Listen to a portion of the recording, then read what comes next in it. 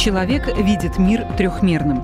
Он легко может оценить удаленность объекта и глубину пространства. Но традиционные технические средства умеют фиксировать исключительно плоскую картинку. Только в последние годы появились устройства и методы, способные работать с трехмерным, объемным изображением. Компания Вакорд Телеком вышла на передний край трехмерного моделирования, и первой ее задачей стало трехмерное распознавание лица человека. У нас одна пара камер, она реконструирует левую половину лица, а вторая пара камер реконструирует правую половину лица. И после этого происходит сшивка этих двух изображений. Таким образом, у нас независимо от того, как человек поворачивается, то есть он может достаточно сильно повернуться, тем не менее мы а, получаем а, полную модель лица человека.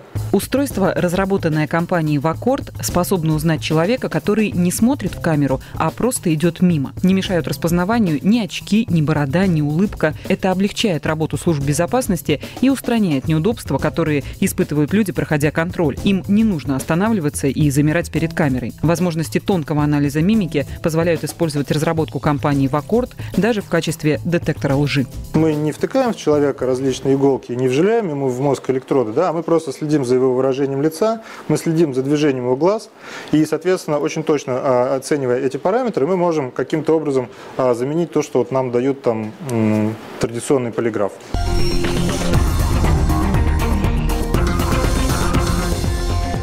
Проблема распознавания образов, э, она очень старая.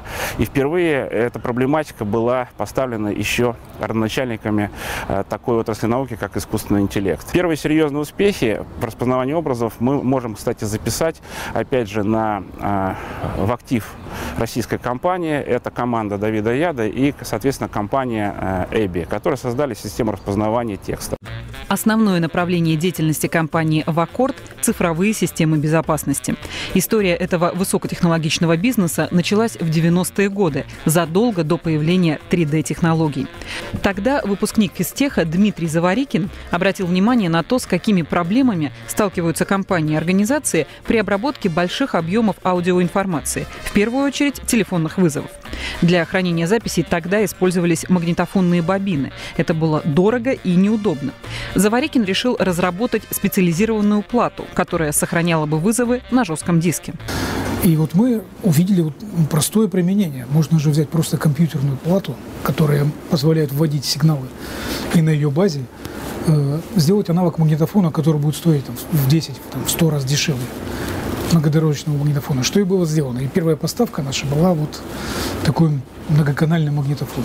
Первыми покупателями системы автоматической регистрации вызовов стали коммерческие банки, которые приобретали продукт Вакорда для записи разговоров сотрудников с клиентами. Системы аудиорегистрации стали основой финансовой независимости компании. Они многократно менялись и усовершенствовались, но до сих пор клиенты используют систему, установленную еще в 90-е годы. Устойчивые продажи позволили Вакорду вкладывать средства и силы в новые рисковые разработки. И не всегда компании сопутствовал финансовый успех. Так, относительной неудачей закончилась разработка IP-шлюза, устройства, позволяющего передавать телефонный вызов по глобальной сети. Хотя с этой разработкой в аккорде связывали большие надежды.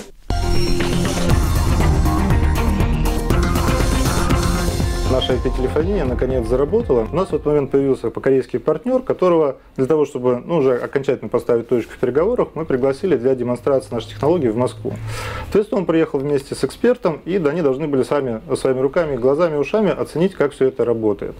А единственная была проблема у нас, что она у нас работала не всегда. Иногда звук в одну сторону не открывался. Ну, естественно, перед демонстрацией мы провели 10 проверок, все 10 раз все замечательно сработало. И 11 раз мы уже значит, делаем звонок вместе с нашим нашим корейским будущим партнером, как потом оказалось. И звук не открывается, естественно. Ну, он, он должен был не открыться. Что нас спасло, что он не открылся в мою сторону, соответственно, я его не слышал.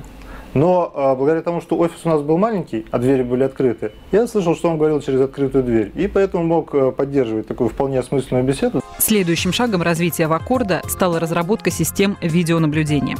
Причем компания сразу ориентировалась на работу с видео высокого разрешения и создание мощных многоканальных систем, обрабатывающих видео сразу от нескольких камер наблюдения. Очень сильная команда у нас была, техническая.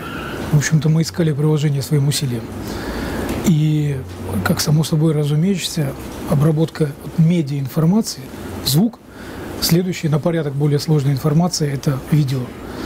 И точка приложения усилий, она как бы сама собой. Было понятно, что мы к этому придем. То есть сам, чуть ли не с самого начала. Несмотря на то, что системы видеонаблюдения компании «Вакорд» превосходили конкурентов по производительности, клиенты не спешили их приобретать. Главным препятствием оказались недостатки интерфейса. Клиенты просто не могли оценить предоставляемые преимущества. Но к 2005 году развитие компьютерных технологий позволило оценить их в полной мере, и спрос на продукцию «Вакорда» стал быстро расти. Вскоре компания заняла достойное место на рынке систем видеонаблюдения. Как выглядело то, с чего мы начинали, и то, к чему мы пришли. То есть вот эта плата, она размером с небольшой аэродром, со здоровенной исовой шиной. Это уже современная PCI плата. По производительности эта плата в два раза превосходит вот эту. Но по размеру видите, как они отличаются. Ну, собственно, понятно, что технологии идут вперед, закон Мура действует.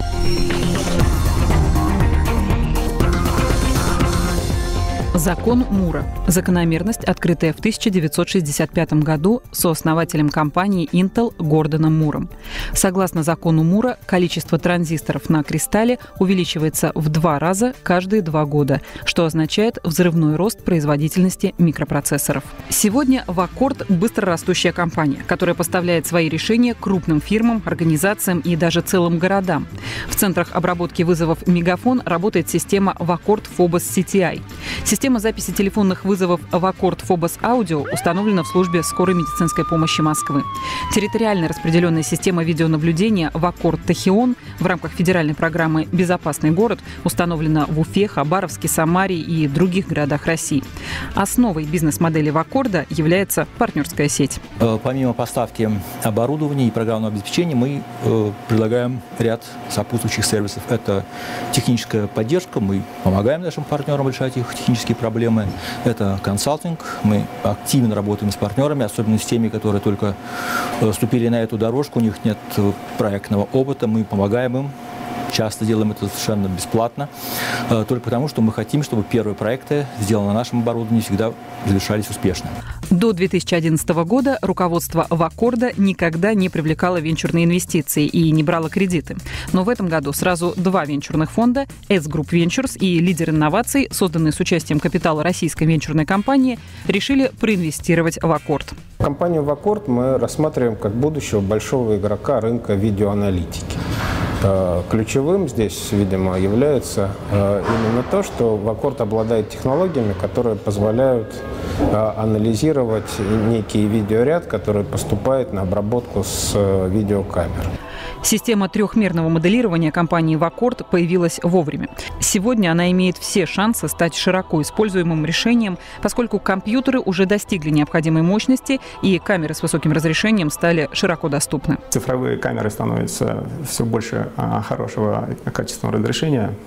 В то же время а, возможность обработки изображения, особенно локально на камере, а, а, тоже появляется. То есть компьютерные вычислительные системы становятся все мощнее и мощнее, потребляют все меньше и меньше энергии на единицу, скажем, вычислительной операции. Все это позволяет уже в ближайшее время получить продукт, когда камера сможет, в принципе, анализировать уже сама видеоизображение. Когда венчурные фонды вкладывают в компанию деньги, они оценивают не только технологии и рынки и не только бизнес-модель компании. Они оценивают команду, ее способность принять вызов и добиваться успеха. Когда я пришел в эту компанию, на первых встречах с руководством я был буквально поражен. Я увидел, что в России еще остались компании, которые занимаются инженерным трудом, инженерной деятельностью. Это не просто покупка софта западной компании, перепродажа здесь. Это вот, это вот ученых, тут э, инженеров, которые как ни странно, все еще востребован. Вот это очень редкая ситуация. Таких компаний действительно мало. И, как я уже потом понял, это был один, наверное, самый главный критерий, по которому нас выбрали венчурные фонды. Бизнес Вакорда связан с самой проблемной инновационной областью – производством высокотехнологичных устройств. Именно этого из-за таможенных юридических проблем стараются избегать многие российские предприниматели. Производство реальных изделий – это самый тяжелый сегмент, особенно высокотехнологичных изделий, потому что, ну, в общем, на высокотехнологичные изделия должна работать вся индустрия в стране. То есть это и материаловедение, это и тонкие технологические процессы, это и точная, точная обработка. Все эти технологии нам нужны.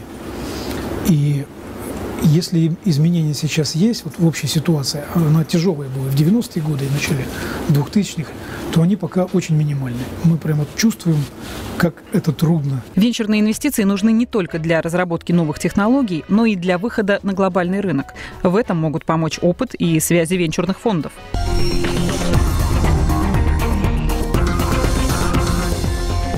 Российской Э, действительности существует много компаний с очень интересными технологиями, но то ли по незнанию, то ли из-за боязни, они просто не хотят выходить на глобальный рынок, думая, что там столкнутся с какими-то совершенно уж непреодолимыми трудностями. На самом деле это не так, и при должной помощи, при должной экспертной поддержке эти вещи вполне можно делать. И мы надеемся, что именно это и случится с Вакордом. На глобальном рынке технологии трехмерного моделирования, предлагаемые Вакордом, интересны не только тем, кто отвечает за безопасность. Их применение гораздо шире. Одна из целей – это, например, э, виртуальный 3D-магазин. То есть мы берем, делаем модель человека каким-то образом, 3D-модель человека, и дальше показываем, как на нем будет сидеть то или иное платье. А, то же самое, там можем сделать модель лица человека и посмотреть, как будут выглядеть у этого, на этом лице различные э, прически, различный макияж и так далее. Правда, построить виртуальный 3D-магазин можно и другими уже известными на рынке способами. А вот применение решений в аккорда в киноиндустрии сделает уникальные методы, использованные, например, при создании фильма «Аватар» доступными и недорогими. Этого пока еще никому сделать не удалось. Мы можем брать какой-то объект реального мира, да, например, кузнечика, делать 3D-съемку этого кузнечика, его движений там с разных сторон, а дальше это дело оцифровывать, превращать это в 3D-модель, причем делать это очень быстро. И дальше этого кузнечика сильно увеличивать и превращать его в какого-нибудь монстра. Закон Мура продолжает работать. Мощность компьютеров растет, но ее нужно научиться разумно и эффективно использовать.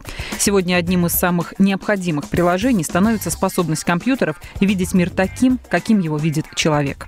Мы считаем и в это верим, что технологии трехмерного зрения, они изменят мир. Это та инновация, тот необходимый элемент технологии когнитивной для того, чтобы распознавать объекты реального мира, которые позволят э, ну, приблизиться к созданию искусственного интеллекта. Что станет главной целью разработчиков завтра? Помощь тем, кто охраняет наш мир, или тем, кто пытается его преобразить на экране? Как говорят в бизнесе, ответит рынок. Но в любом случае мир вокруг нас объемен, и потому технологии трехмерного моделирования, над которыми работает Вакорд, так нужны.